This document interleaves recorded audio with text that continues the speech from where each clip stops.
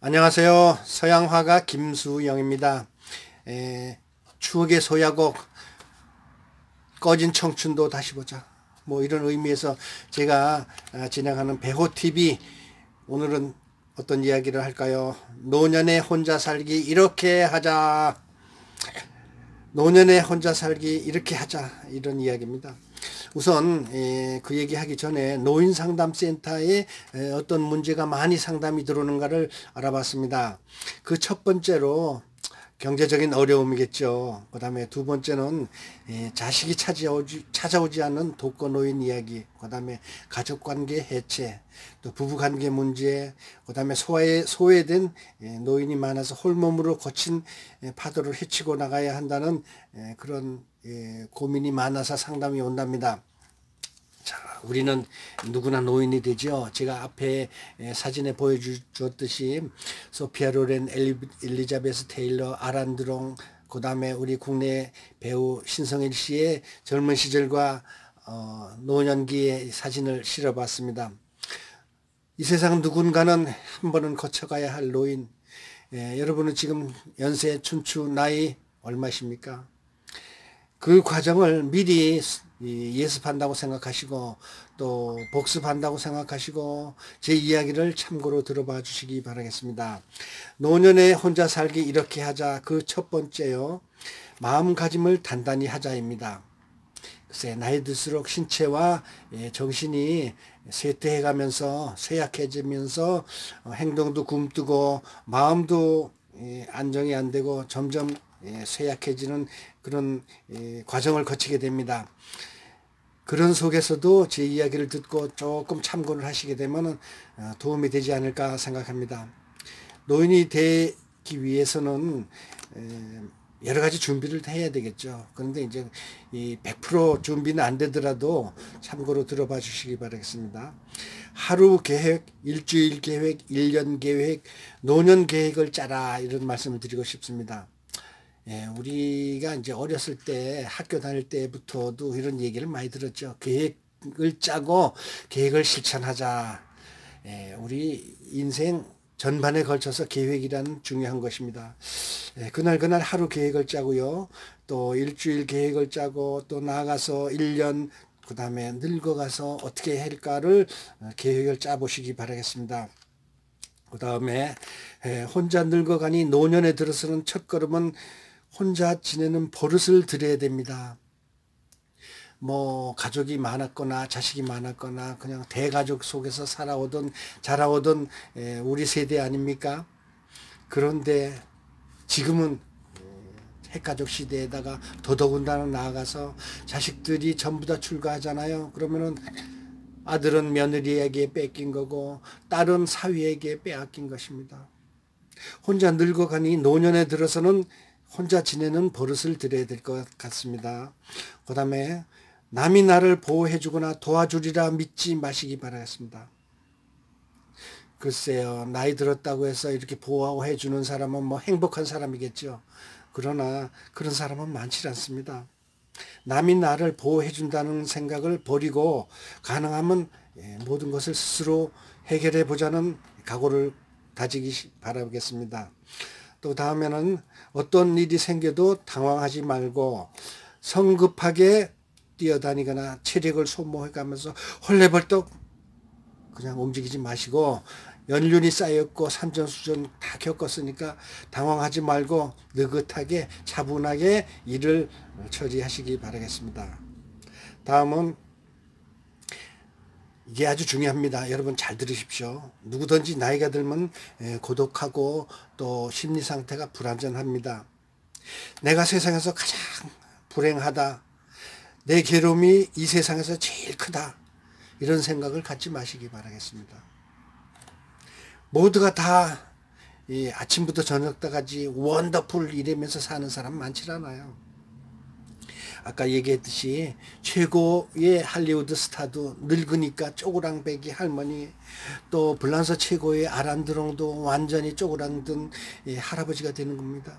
우리 한국 최고의 가수 신성일 씨도요 말년에는 뭐 주름이 인생 계급장이라고 하긴 하지만 노인으로서는 예, 누구나 다 겪은 일이니까 내가 세상에서 가장 불행하다. 내 괴로움이 세상에서 가장 크다.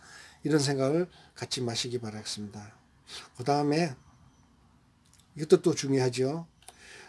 남이 나에게 청하지 않았으면서도 그냥 참견하고 충고하려고 하지 마십시오. 그 사람들은 자기 나름대로 가는 방법이 있고 자기 나름대로의 해결하는 방법이 있고 자기 스스로 해결하는 방법을 키워줘야 됩니다. 모든 걸 청하지도 않았는데 나서 가지고 참견하고 충고하고 교훈을 주려고 하지 마시기 바라겠습니다. 그 다음에 편한 것만 찾지 말고 고독하다 외롭다 생각을 하지 마시기 바라겠습니다. 조금 힘들더라도 노력하고 또 거들고 또 그다음 나도 할 수 있다라는 생각을 갖고 일을 하면 좋지 외롭다 생각을 하지 마시기 바라겠습니다. 고독하다 생각을 하지 마시기 바라겠습니다.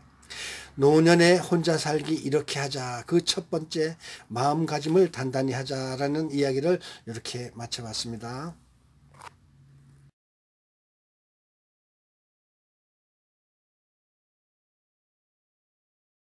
자, 서양화가 김수영이 진행하는 예, 추억의 소야곡 어, 흘러간 청춘도 다시 보자 꺼진 청춘도 다시 보자 오늘의 이야기는 예, 노년에 혼자 살기 이렇게 하자 그 두 번째 이야기입니다. 제가 그린 그림인데 봄 풍경인데 아주 보기 좋죠? 두 번째 이야기 건강 문제 내가 지키자입니다. 일찍 자고 일찍 일어나자. 이것은 뭐 우리가 아주 어릴 때부터 어, 어른들한테 아니면 선생님들한테 많이 듣던 이야기죠. 나이 들수록 더더군다나 이렇게 해야 됩니다. 일찍 자고 일찍 일어나자. 밤늦게까지 고민하다가 뭐 모든 프로그램, TV 프로그램 다 보고 스포츠 다 보고 또 뭐 모든 예, 뭐저 공부 좀 하시는 분들은 책을 다 읽고 그러지 마시고요. 그저 잠자리에 들었으면 일찍 불 끄고 일찍 자고 일찍 일어납시다. 이거는 만고의 진리입니다. 두 번째는 예, 방에서나 밖에서나 항상 운동을 게을리 하지 말자. 어, 몸이 점점 쇠약해져 가면서 우리 신체의 능력이 한계에 다다릅니다. 그리고 그런 것을 예방하기 위해서는 건강이 제일 중요하죠. 방에서도 침대에서 아니면 맨바닥에서 어 이렇게 운동하는 게 많습니다. 다리를 들었다 놨다 또 그다음에 고개를 들었다 놨다 팔을 움직였다가 왼쪽으로 돌았다 오른쪽으로 돌았다 방에서도 그렇게 하지만 밖에 나가서도 많이 걷고 그 다음에 요즘에는 그 지역마다 그 운동할 수 있는 기구를 많이 설치해 놓은 데도 있잖아요. 웬만한 초등학교에 가면은 어른들이 하게끔 설치되어 있는 시설이 많습니다. 체육시설이. 그래서 방에서나 밖에서나 항상 운동을 게을리 하지 말자 이런 얘기를 드리고 싶습니다. 그 다음에 체력이 아니면 기력이 왕성하다고 뽐내지 말고 요즘에도 일주일에 두 번씩 이런 얘기는 그래. 그게 이제 뭐 어떤 뜻인가 하면 체력이 기력이 왕성하다 뽐내고 친구들한테도 그래요. 아, 난 비약을 안 먹고 일주일에 두 번씩 하고 있어. 야, 안 하면 난 못 견뎌. 아이고. 이거 거짓말일 겁니다. 물론, 예, 그런 사람도 뭐 덜어 있겠지만, 이건 자랑이 아니에요. 너무 뽐내지 마세요. 그냥 자기 몸 관리 잘하고, 지나치면 안 됩니다. 뭐든지. 체력이 왕성하다. 뭐, 나는 뭐, 이거 못하면 그냥 못 견뎌라는 그런 식으로 얘기하는 사람 전부 다 뻥이에요. 글쎄요. 제 생각엔 그렇습니다. 그 다음 음식을 작게 먹고 오래 씹고 가리지 말자. 이거는 뭐 누구든지 다 아는 얘기지만 이게 쉽게 잘 안 돼요. 꼭 입에 맞는 것만 먹게 되고 어떤 분은 이 뭐 세상에 이런 일이 있는데 거기 보니까 어떤 사람은 글쎄 콜라에다가 뭐 밥을 말아 먹는 사람이 다 있더라고요. 이렇게 변칙적인 생활은 안 좋습니다. 골고루 다 먹고 소식하고 그다음에 고기도 물론 먹어야 되겠지만 채식이 몸에 좋은 거 아시죠? 자, 음식을 소식하고 오래 씹고 가리지 말자라는 얘기를 또 곁들였습니다.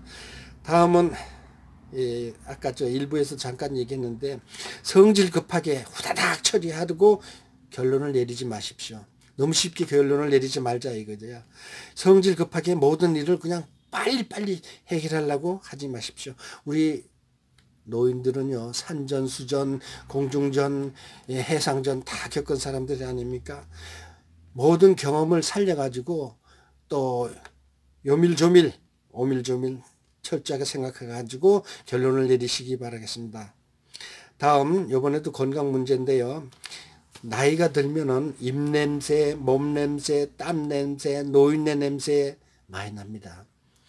예, 여러분 어, 게을리 게을리 하지 마시고요. 입냄새, 입 이, 물론 속에서 어, 체력 잘못해서 내과에서 나오는 냄새도 있지만 예, 입냄새, 몸 냄새, 땀 냄새, 노인네 냄새 이거를 음, 철저히 합시다. 특히 저는요 여기에서 입 냄새에 관한 이야기를 한번 해드리고 싶습니다. 과, 과산화 수소수라는 게 있습니다. 약 약방에 가면 그게 일종의 소독제인데 그게 뭐 800원 1000원밖에 안 가요. 어, 콜라병 작은 거에 그걸 갖다가 한 숟갈을 입에 넣어 가지고 어, 한 10 분 정도 기다리고 있다가 뱉으세요. 그러면 입안에 있는 게 모든 게 다 깨끗이 소독이 되고 그다음에 충치도 예방이 되고 또 그다음에 치주염 있죠. 그게 입냄새의 근본 원인이거든요. 그거를 어, 제거하기 위해서 과산화 수소수 뭐 싸잖아요. 천 원이면 사는데 그걸 갖다가 사용하면 한 한 달 이상 써요. 한 숟가락 입에 다 물고서 10분을 기다렸다가 양치를 하시게 되면 입안의 건강이 아주 좋아지고 치주염 좋아지고요. 어 뭐 인사돌이니 뭐 그런 거 필요 없습니다. 어 인사돌 제약회사에서 저를 원망하겠지만 여러분 예, 입냄새, 몸냄새, 땀냄새, 노인네 냄새 우리는 안 나는 것 같지만 젊은이들은 되게 신경 씁니다. 조심합시다. 샤워 자주 하고 양치질 자주 하고 과산화수수 잊지 마시기 바라겠습니다. 다음 외출할 때 긴장하고 행동이 재빠르게 움직이자. 어, 여기 지금 제가 이제 삼각지역 서울 용산 삼각지역 3번 출구 바로 옆에 열린 화랑이라는 걸 운영합니다. 그 운영하고 있는데 바로 우리 화랑 앞에 소방서가 있어요. 그래서 가끔가다 막 그냥 사이렌 소리도 들리니까 여러분 양해해 주시기 바라고 또 외출할 때 긴장하고 행동이 재빠르게 움직이자. 이것은 뭔가 하면은요. 물론 예, 건널목 그 신호가 좀 짧아요. 나이, 나이 들어서 어, 행동이 굼뜨고 좀참 예, 발걸음이 느리잖아요. 그런데 그럴수록 긴장을 해가지고 빨리 건너야죠.